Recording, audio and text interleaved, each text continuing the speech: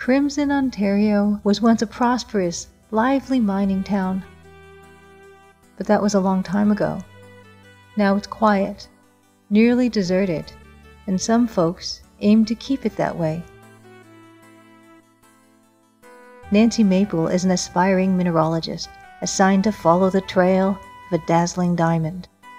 An intriguing cast of characters has converged under one roof, each meaning to get their own way.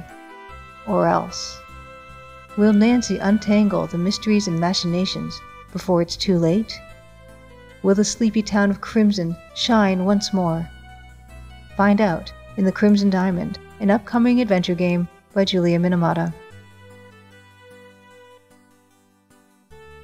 The Crimson Diamond demo is available on Steam and itch.io for Windows PC and Mac OS.